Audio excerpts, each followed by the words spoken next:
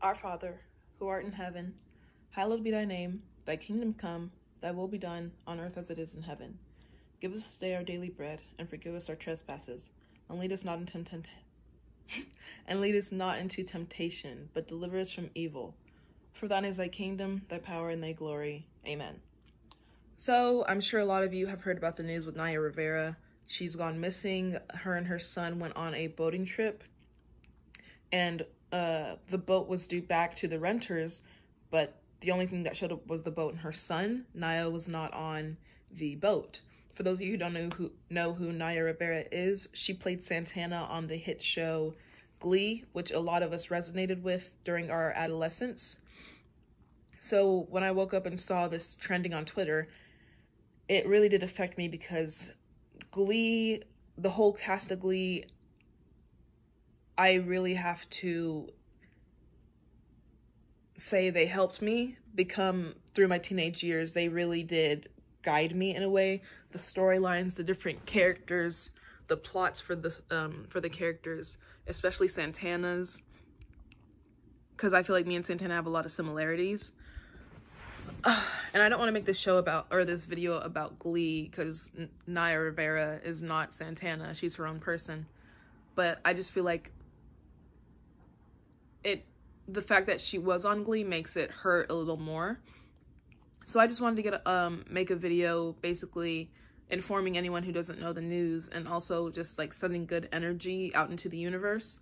Um hoping that she gets found okay, alive. Um you know, let's hope that the worst case scenario does not happen. Um she does have a son. She has a child. She has people who love her. She has friends. She has family. So I just want her to come back safe and no harm done to her.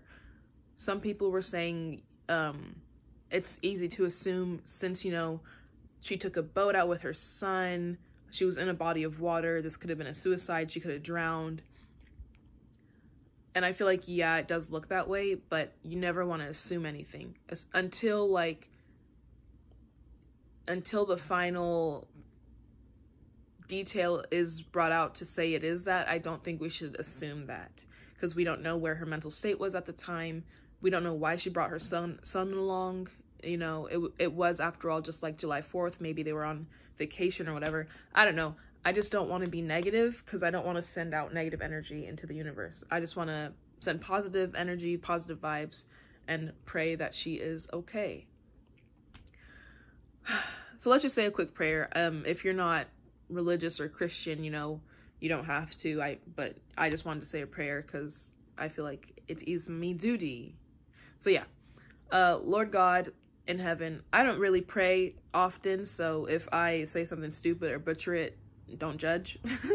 okay.